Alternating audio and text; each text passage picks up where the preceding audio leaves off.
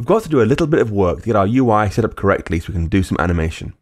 So go ahead and open main.storyboard, then drag out a button.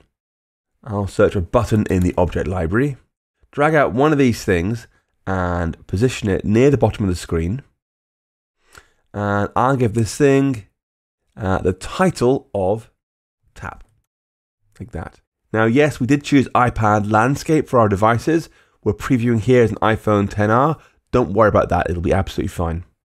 We need to add some auto layout constraints here.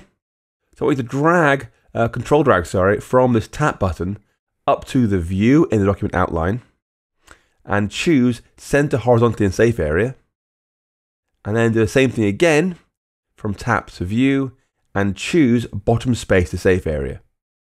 So align at the bottom center of this view, no matter what kind of size it is. That's it for our entire layout here. So I to go to the assistant editor and create an action for that button. So I will find the space in my code and control drag from tap, oops, from tap down into the code.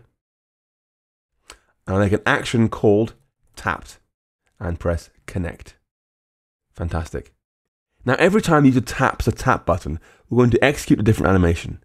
This will be accomplished by cycling through a counter and moving an image view.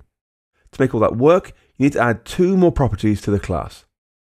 Up here, we're going to say var image view is a UI image view, implicitly not optional. Then var current animation is zero. So we have an image view and we have an animation counter property. Now there isn't an image view in a storyboard.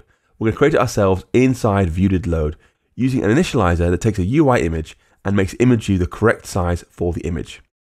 So I'll exit the uh, assistant editor, go back to the standard editor, open ViewController.swift nice and big, get rid of this right hand bar here, and in ViewDidLoad, we're going to say image view equals a new UI image view, passing in the image and we'll use this UI image named uh, penguin. Boom. And we'll do image center is CG point X512 Y384. So about centered in our iPad. And view dot add subview image view. So create a new image view, center it on the screen, and add it to our parent view. There's one more thing we're going to do before we start looking at animations, and that's to put a little bit of code into the tapped method so we cycle through animations each time the button's tapped. So inside tapped, we're going to say current animation plus equals 1 if current animation is greater than 7, current animation is 0. So this is going to add 1 to the animation every time we tap the button until it finally goes past 7 at which point it'll go back to zero again. So it'll loop round and around and around.